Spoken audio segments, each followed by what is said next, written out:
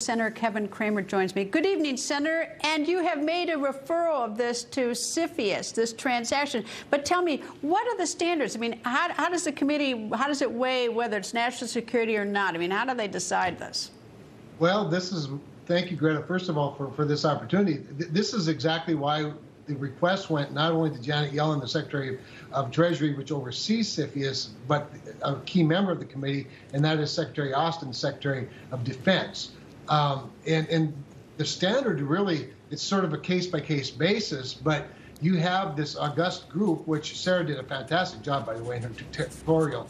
Um, you, you see why they would all have a, have a role in this. The reasons it's um, important to Grand Forks, or at least important to those of us that care about national security, is because this particular investment, the Fufeng investment, is 370 acres that will become a corn milling plant within 12 miles of the Grand Forks Air Force Base, which is a very important ISR base that flies the Global Hawks today. We'll be flying a new, new mission in the future. And of course, we just uh, cut a ribbon a couple of weeks ago on a Space Development Agency a ground control uh, system for a tranche of satellites. So, needless to say, there's a lot of sensitive data that goes up and down from Grand Forks and uh, and could be subject to easily easily be uh, interfered with or, or stolen.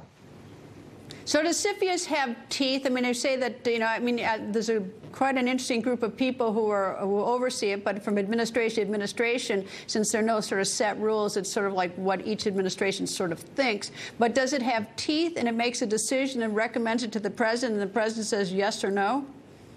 So it does have teeth if it should go all the way to the president. So the first review process is actually just that, a review. They have to do it within 45 days, and uh, and you can actually expedite that even.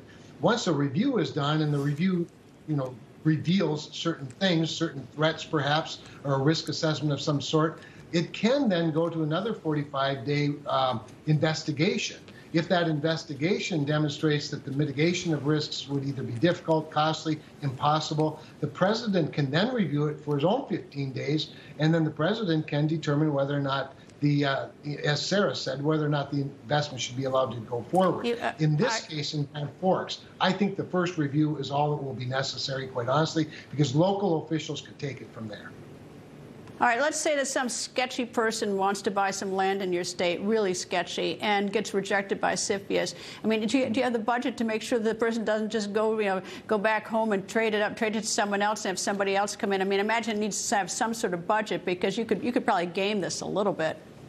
Well, perhaps, but um, remembering that it's again it's foreign investment that we're concerned about, that CFIUS is concerned about, and um, the in this particular case, again, the Fufeng case, the local community leadership and the state has done a really good job of putting in guardrails, including clawbacks. So let's say, for example, the investment's made. It has been made. The land has been purchased.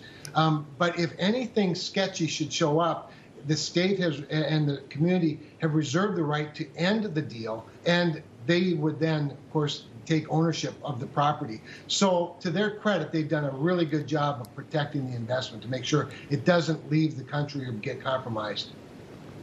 All right, we'll see what happens with uh, this investment and all future ones. Uh, Senator Kevin Cramer, thank you, sir. Thank you.